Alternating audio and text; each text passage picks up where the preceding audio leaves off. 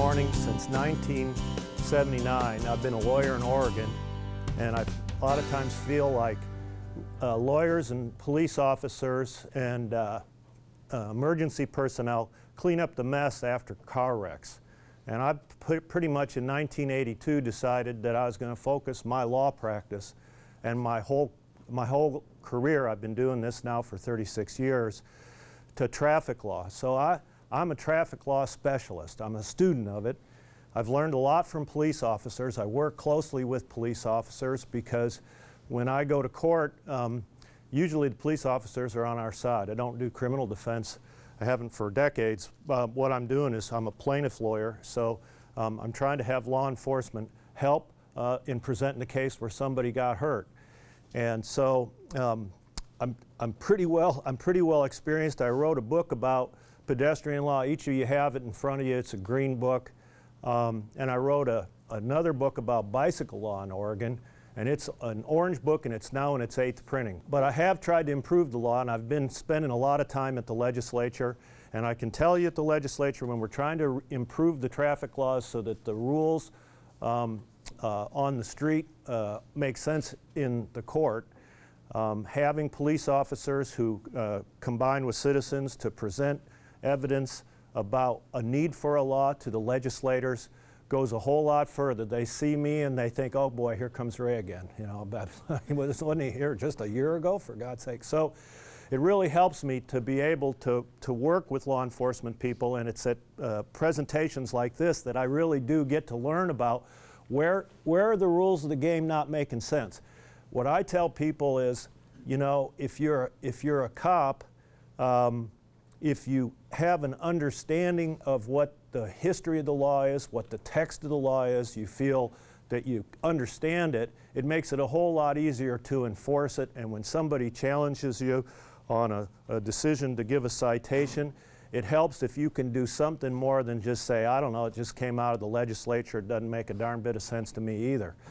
And uh, my, the goal in my career has to make, been to make it so that police officers, um, prosecutors and judges can look at the traffic law and say, yeah, it's not perfect, but it's pretty darn good. And I'll tell you, after doing this for three decades, our Oregon law, in terms of its development, has been a leader in the nation for certain things. And uh, some of these laws um, I'm, I'm, not even going to talk about, but the Oregon passing law and the pedestrian law and the vulnerable user, the VRU careless, are looked upon by people in other jurisdictions where law enforcement folks are frustrated because the laws, by and large, in the traffic code, a lot of them were originally written in the 40s and they don't really apply to the kind of multi-use roadway systems that our state departments of transportation are trying to put. And for all of you, you know, I mean, you're traffic cops, you know if you were to take a photo or a, a, a, snapshot of what the roadways looked like 10 years ago in your county, your district, your precinct, um, they've really changed. You know, rural two-lane blacktops, what they've done is they've made it so that we've got widened shoulders to encourage people uh, to use the shoulders. These shared, these shared roads are, in some ways, on the good side, it's encouraging people to, to ride their bikes and to walk alongside the roadways.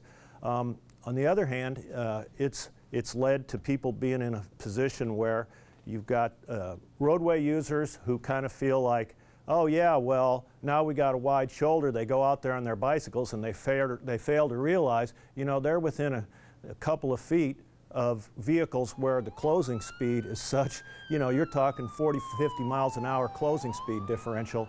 And in, in your work and in my work, the level of the high energy transfers that we see in traumatic cases, I mean, I just shake my head. And you know, in the old days, a lot of times the cops in the emergency room people used to say to me when I'd come and talk to them about something, they said, well, what the hell did you think was going to happen? You know, you got all these people out there and they're having a nice day and they're out there on their little bike on the side of a two-lane road where people are going 65 miles an hour. Well, what do you think is going to happen if somebody sneezes or has a seizure or a diabetic doesn't realize that they're getting a little bit woozy and they turn the wheel an eighth of a turn to the right, you know, I mean, you can't really change reality. Well, and that's true. But what I've tried to do is to say, okay, look, in the old days, before the 40s and 50s when subdivisions started to be developed where there were no sidewalks anymore, which is what happened in 50s and 60s. Um, before then, the, the roads used to be considered a public way. I mean, there were people walking, there were people with farm equipment, and uh, then when we started to restrict the roadways and make them these, you know, really narrow, high-speed corridors, um, what happened is that uh, we kind of had to do some changes to make the roadways be more accommodating to people. And of course, ODOT somewhat leading the charge. Some of us would like to see ODOT be a little bit more proactive in some ways. Um, and others of us, like for example, cops who have to invite, enforce bike lane laws, kind of wonder, well, to what extent is the solution creating part of the problem here? And uh, I hear that all the time, and I teach it, and I'm a promoter of it, but I also recognize, you know, we've had a lot of ideas and a lot of changes that you're going to see in the way your city engineering departments change the traffic system in your cities and counties. What I like to say is some of those are good ideas. Some of them are not such good ideas, but where they have the force and effect of law, then you're charged with enforcing them. And what I want to do today is to kind of give you a little bit of a legal background so that you can at least at least I did what I could to let you know a little bit about our pedestrian laws. So where I'd like to start is the book that I've uh, got that I handed out to everybody is this one. And it, it, it contains articles and laws, not only ORS but OARs and uh, municipal ordinances that you can take with you and use as references because as you know, the ORSs, the OARs, and the municipal laws comprise a patchwork, some of which is um, overlapping. It's not supposed to be inconsistent, but sometimes it's not, it doesn't knit together very well. And uh, that's the basis from which that we take our laws. And so what I want to do is to provide this resource to you. And if you like, you know, the, I mean, the articles that I've written about the history of pedestrian law in Oregon are contained in there. You can get into it as deep as you want, and if you ever want to work on legislative pedestrian issues, get a hold of me because I'm always looking for help. We can always improve the law. So what I'd like to have you do, if you don't mind, is I also gave you two articles. And um, the first one is uh, called What Are the Limits of the Pedestrian Right-of-Way on the Crosswalk in Oregon? And this one, right on the front of it, contains the, the section in ORS 811.028, which is the new paragraph 4. It, it, it went into effect in 2011. This is the addition to the crosswalk law where when you do an enforcement action, a pedestrian doesn't have to be out in the killing zone so that you can do an enforcement for a motorist uh, violating the pedestrian crosswalk law. So I want to talk about how did, how did we get to having this law where a person can take a foot or a, a bike wheel or a cane tip and put it into the road. And let me just give you a, a tiny bit of background on it. In 05, in Oregon, ORS 811.028 needed to be changed because bike laws had come along. And what the pedestrian law before then had provided was that a pedestrian in a marked or an unmarked crosswalk, and for those of you, I'm sure you know this, but a marked crosswalk and an unmarked crosswalk have the same force and effect in Oregon law, unmarked or marked. And in my book, I've got the ORS definition of what a crosswalk is. I will tell you, every time I get a pedestrian case, that involves a crosswalk, and I'm trying to make sure that the person was in the crosswalk, I got to do the same thing every single time, even though I've been doing this um, for decades, and that is I've got to go and look up the definition of a crosswalk. And the reason for it is, is that for you all, if you're ever in a position where you're having to go to court, you really have to be able to know what is the crosswalk. And the source of the crosswalk is contained on page 104 in the book. And in this book, what I did was, you'll see this, these, are the, these are the text of the laws. It's, it's not like easy speak, it's the actual text, text of the ORS. I put these gray boxes that you'll see in some of the pages in there. Those are parentheticals, heads up from me that I'm giving to you about, hey, look, this is what I think is important about this particular law. So that's me talking to you. And what you'll see is that the definition of a crosswalk goes on for several paragraphs and it's quite technical. It can be up to 20 feet wide. And when I see somebody who gets hit, I go to the place and I get this thing out and I parse through it. And you think, you know, God, you know, you know, I know it pretty well, but you have to really know from where does the crosswalk definition come. And here it is. This is the, this is the fountainhead of our Oregon crosswalk. And you know what people say to me is, well, uh, you know, if you get through the legal gobbledygook, I mean, how do I know where the unmarked crosswalk is, right? Because a lot of, you know, in the neighborhood four corner intersection, there's no paint on the road. And I say, well, I'll tell you, if you want to know where a typical unmarked crosswalk is in a four corner intersection in some residential area, it's extending the sidewalks. If you were to give a 12 year old a spray can and say, all right, extend the sidewalks and paint crosswalk marks, that pretty much would be where the crosswalk is. And that's where the unmarked crosswalk is. You just basically extend the sidewalks. Um, however, where it's a marked crosswalk, that trumps the what might be an unmarked crosswalk definition because that provides you with your parameters. And I'm assuming every single pedestrian crosswalk action you do, it's always involving a crosswalk that's marked, isn't it? Anybody ever do an unmarked crosswalk enforcement action? No, I don't think so. But the fact of the matter is, in some states, unmarked crosswalks aren't crosswalks. And in fact, you got to be really careful, and I'm not going to point any fingers, but when you look at your municipal ordinances of what's a crosswalk and what's you know, what the municipal ordinance covers. Some of them only say uh, mark crosswalks. I know that that's a, a, typo, but just check and make sure. But in Oregon, they both have the same force and effect of law. So what, has, what happened was ORS 811.028 pre-2006 um, didn't take bike lanes into account. So the legislature decided it needed to do something about that. So if you go to um, the, the, the version of 811.028 in the book, and it's on page 107.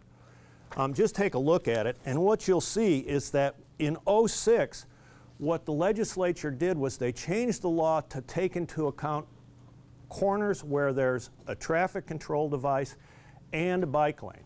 And so it's pretty simple to, I think, visualize. And here's the, the, the way that I say it is, look, if it's an intersection where there's no traffic control device, what a pedestrian gets is two lanes. Two lanes of right-of-way, right? So the crudest intersection, the crudest unmarked crosswalk or marked crosswalk without a traffic control device, the pedestrian gets two, gets to cross two lanes make the traffic stop and give the right of way to them in both directions. Once they step off that corner, traffic has to stop in both directions of a typical two lane roadway. But where there is a traffic control device, now you've got a higher use, a more regulated intersection, and the pedestrian is given less space because they've got electronic assistance from the traffic control device. Then what, you what became into reality in 06 was what I call the lane and six foot rule. Pedestrians, when they're walking with a walk, get a lane plus six feet. That's what they get. They don't get two lanes, they get a lane plus six feet. And that's what happened in 06 to change and became what is on page 107 and 108, the new ORS 811.028. Here's the problem. It's really long. It's got those two different variants to it, which, uh, unless you like to read about the law, most people kind of tune out by the time they get through it all. And here was the biggest problem, and this is what I saw. When did cops give people a ticket for violating 811.028. Usually when somebody got tagged and hit, which is too late, unfortunately. Somebody gets hurt, run down by somebody, and then obviously the driver failed to yield the right of way to a pedestrian in the crosswalk because there's the, there's the point of impact. And then the other thing was they had to see something that was really egregious. Some kids walking to school halfway across the lane, and then some guy in a Subaru going 40 miles an hour just completely blows by them and treats them like a traffic pylon. Well, that's an easy one. The problem was, how does a parent who's, let's say, we got this safe routes to school stuff we're trying to do, people are saying kids should walk to school, not be delivered by their parents, you know? Well, how do you teach your kid to safely cross the neighborhood streets on the way to school? How can you make the car stop? I'm not going to teach my kid to walk out. Uh, let's see, to trigger 811.028, I got to be crossing the roadway in a crosswalk, right? Well, then, how do I keep make the car stop before my kid crosses? Well, you, I mean, there's no trigger. There's no trigger to make the car stop. So we were trying to figure out how to do it. First, we look at the blind law. The blind law says if somebody's blind, got a cane or a, uh, a dog, they get the right of way when they're crossing or when they're about to cross in a crosswalk, right? It's additional level of, of, of, uh, of protection. So that means somebody standing on a curb with, with a blind cane is entitled to the right of way and approaching drivers have to stop. Well, but that, there's no politics with that for regular people. That didn't fly. We talked to legislators, said no way. Then we tried, and you may have heard about this in like, I don't know, it's about 08. We tried a hand signal because traffic patrol people, remember what they do, they can put up their hand, it's a traffic control device. That's how patrol boys and girls do it. They stop the cars that way. Well, that really worked, but the politics, it didn't have legs. We failed in two different legislatures. People were laughing about it. Oh, yeah, everybody's going to hold their hand up like they're getting called on to make the car stop. Well, okay, so that didn't work. So then what we figured out was, you know what we need is we need a legal trigger to make the car stop. So what can we do without, how can we make the car stop without stepping out into the killing zone? Right, because that's what it is. so what we realized was 811.028 already says that you get two lanes or a lane and six if there's a device. What you really need is you need to make the car stop not where there's a traffic control device, but an intersection that's non-signalized. And what can we teach the kids? What can we give to old people? What can we have people learn about? And what we realized was if you could have somebody be able to make the car stop so that they don't have to get out in front where the cars are going to run them down, and that two lanes of travel, cars in two, two directions have to stop once somebody's in a crosswalk crossing. We could make it so that if you got a cane tip, if you got a wheelchair wheel, if you got a bike, if you got a stroller, if you've got anything attached to your body that you take off that curb and put into the water or into the, into the roadway, like somebody testing the water with their toe before they jump in, if you stand on, you step off that curb and there's cars coming and they don't stop, and a law enforcement officer sees that going on, that's a violation of 811.028. And not only does it give an enforcement technique for cops, it also takes away excuses for saying, well, shoot, I don't know what the, what's the length and breadth of the law? I mean, what's a safe pass? You know, like somebody, it's, it's kind of in the eye of the beholder. Well, it's no longer in the eye of the beholder. If, the, if it's a crosswalk marked or unmarked, and the pedestrian has indicated their intent to cross with an extension of their body, and we specifically go into it, cane tip, wheelchair wheel, bike tire, anything, then the cars are required to stop. And once the cars are stopped, and if the kids learn this and the old people learn this, or you all learn this, once the cars stop by you doing that, now you can cross. It's not to say that somebody's not going to step on the gas and run you down, but goodness gracious, the fact of the matter is, is that the chances of that happening are so much lesser than you stepping out into the killing zone instead of the in front of approaching cars, figuring, oh, they're far enough back, they got plenty of time to see me and stop with disastrous consequences. And since we changed that law in 2010, it was signed by the governor in 2011, we had law enforcement officers saying, this is what we need to enforce this law. We had elders and school people coming behind it. We had really nobody opposing it, and it's been the law since 2011, and it's the basis upon which you all do your pedestrian enforcement in Oregon. So that's the, that's the legal trigger. And uh, the nice thing about it is, is that it's being copied in other states too, because they've got the same problem. You say you got the right of way in the crosswalk, but how do you make the car stop? How do you know when somebody violated? And so I wrote an article about, and I put it in front of you there, um, about, about how it was that the law came to be and also what the limits are.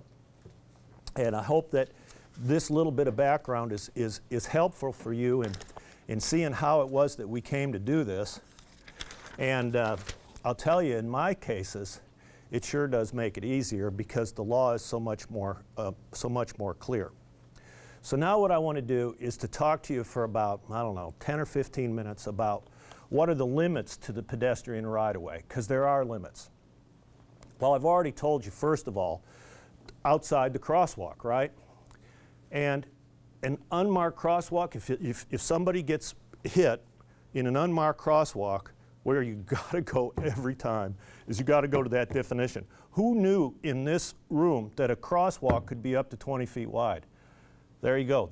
I mean, that is, was news to me. I thought, whoa, 20 feet wide, no kidding. So, so there's the first part. The other one is uh, something that a lot of pedestrian advocates don't like to know about. And, uh, but, it's, it's, but it's really important, and it's on page 21. 814040.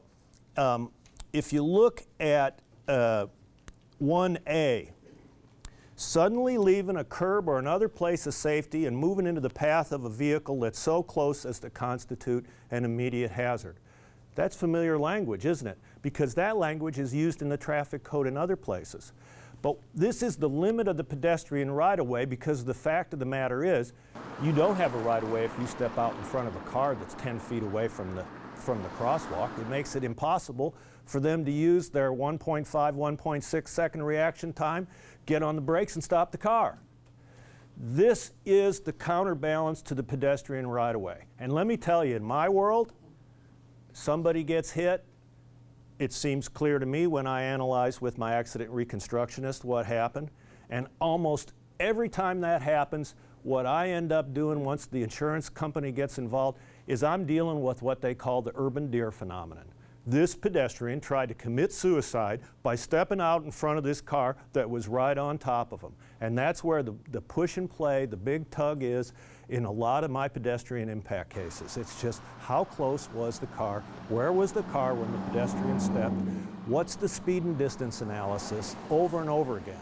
And it's this law that is the pivot point around the pedestrian right-of-way. And that's why when you all do these targeted enforcement actions, you've got your distances on when it is that you have the legal trigger for allowing uh, a conviction to occur for a, for a driver. You, and you give them the benefit of the doubt. And in fact, if you look on page 23, we just put that chart in there because I got it from the old ODOT enforcement manuals. What it does, of course, it gives the benefit of every doubt to a motorist who's trying to, who's trying to slow down and stop.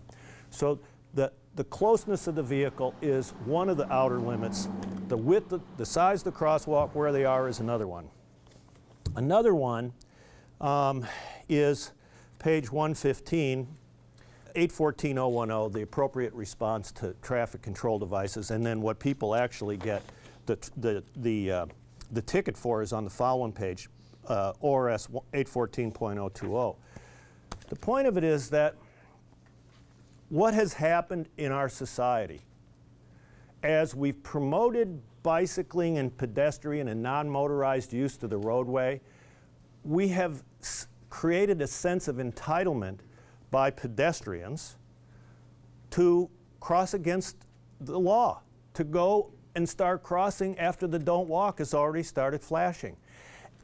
Do I do it? I confess. I do it all the time if I think I can get away with it and I'm in a hurry. But the fact is, is once that no crossing starts flashing, it's over. You can't step off the curb and start crossing and think that you got anything other than you're committing a traffic violation. And what I tell people is, if you get whacked when you do that, good luck.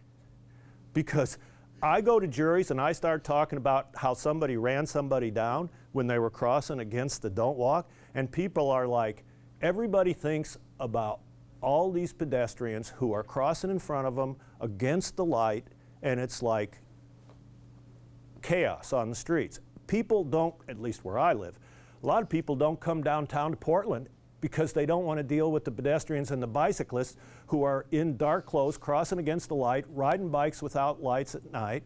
It's like uh, ruination of, our, of our street life.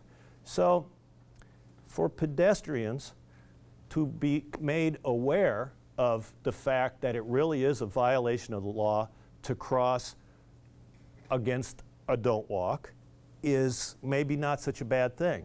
What are pedestrians allowed to do if they're halfway across and the don't walk starts flashing? They can finish crossing to the other side. The don't walk coming on while you're crossing in the crosswalk is like the yellow light coming on as you're going through the intersection. You can continue, you don't have to go back, well, not that anybody does, um, but the fact is, is that uh, the, the law is very clear, and in my view, if you wanted to improve the harmony between drivers and pedestrians, it would be very nice if pedestrians could follow the traffic law. The pedestrians want the motorists to follow the traffic law when it's in the pedestrians' favor, but when it's against their, if they're, and, and I'll tell you what you can do. If you were to do a study of the population demographics in various intersections in the state of Oregon, I will tell you, in my opinion, that the more people within the uh, pro- a quarter mile proximity to the intersection that live and work there, the more likely it is that the pedestrians are going to violate the don't walk, walk. You go to a small town or a little rural area, the, the pedestrians follow the law. There's a reason for that. You go down into a city place or sometimes like on the campuses, it's like, wait a minute, you people are going to college to learn about stuff. Well, what about, what about knowing about the basics of the law? And besides that, not only is it illegal, but it's dangerous. All right, so I, I leave that to you. The, the next thing is municipal laws. I referenced that. Um, I've got a section in the book, and it starts in, uh, I mean, I'll just show you an example of it in, on page 128.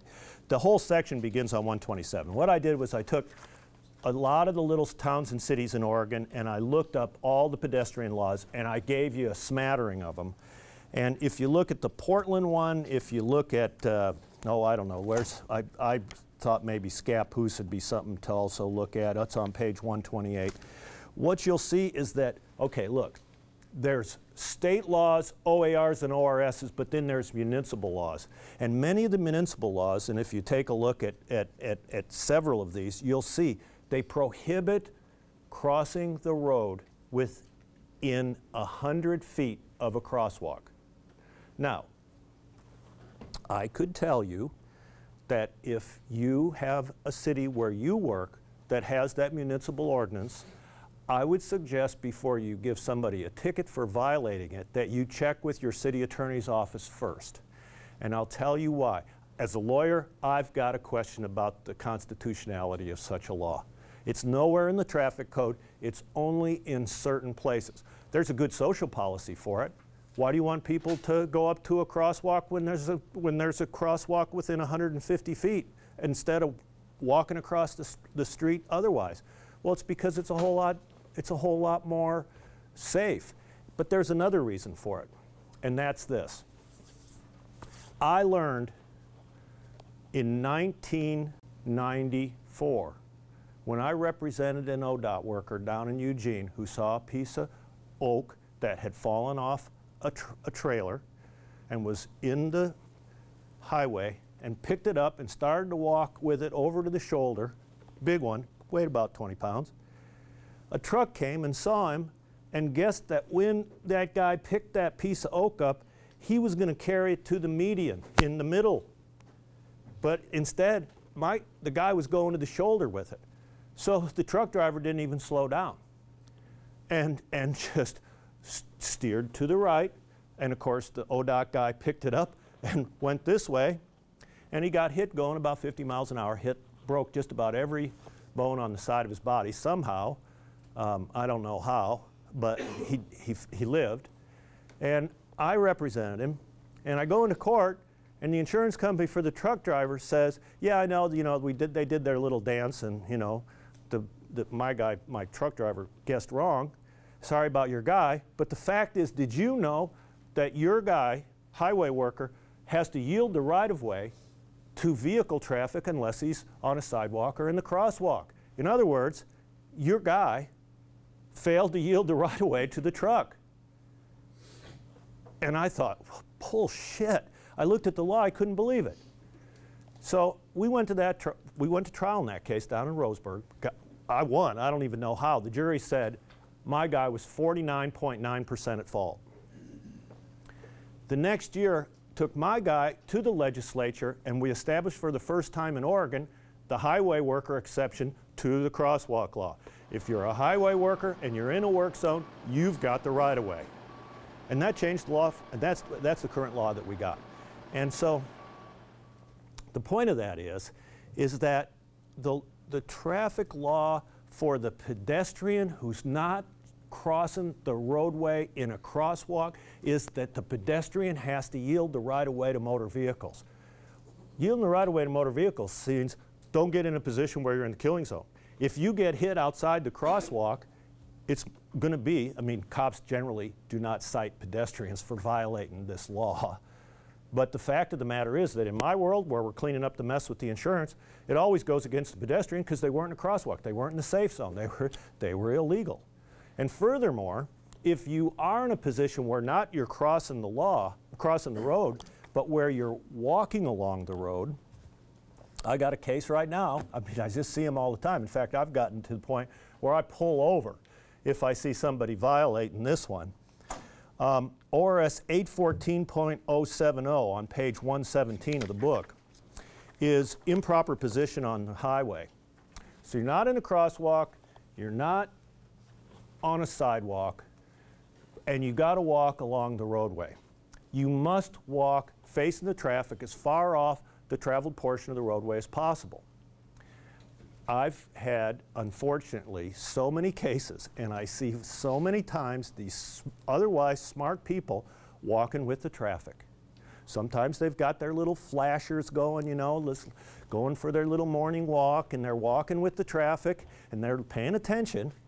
And I, and I tell them, you know, look, I represent a girl who was walking home after work, trying to avoid a puddle on the other side. Some lady also going to work, failed to see her, ran her down, and the cop who investigated this fatal said to me, look, I would not give your dead lady a citation out of respect for her and her parents. But the fact of the matter is, the law says that if you don't walk facing traffic, you're in violation of the law. You got to walk facing traffic. And, uh, you know, I mean, the problem in my world is, as a lawyer, when you're in the negligence world, you got to be at least uh, in a position where the driver who hit you was mostly at fault. If you, as a pedestrian who got hit, are 51% at fault, you completely lose. And so if you violate a statute, such as uh, trying to assert your right of way when a car is so close to constitute an immediate hazard in violation of statute, you, you're, you're done. I mean, you're not going to get any wage loss, you're not going to get any medicals, you're not going to have a civil case. And uh, in my world, I mean, that, that's kind of the end of what a lawyer can do for you. There's nothing much I can do. So the improper position is, is, is, a, big, is a big problem. So those I, are what I would suggest to you, that little collection, uh, that little bundle of laws, those are the limitations on the pedestrian right-of-way, on the road and in the crosswalk. Now I want to talk to you for about a for a few minutes about some common sense laws against dangerous practices. And by dangerous practices, um, I mean things that unfortunately a lot of motorists don't know anything about. And I don't know how they manage to get through driver's ed. I guess that's a negative on uh, our highway and driver education programs. But, um, and I learned a few of these from cops. Um, the first one is the, is the failure to stop when, emerge, when emerging from an alley, a driveway, or a building. um, on page 111, this is it, it's ORS 811.505. I, this one's almost universally uh, ignored by drivers, but it says that a driver's got to come to a full and complete stop before they cross a sidewalk. It doesn't matter if you got a big, nice car, doesn't matter if you got a full bladder, doesn't matter if you just went shopping at the Fred Meyer store and the ice cream's melting in the back seat. It doesn't matter. You got to stop before you cross that sidewalk. And if more drivers did that, and if, incidentally, if more cops gave tickets for violations of that, I think we'd have fewer pedestrians picked off on sidewalks, walking in front of parking lot exits, walking in front of driveways, and trying to walk in front of uh, alleys.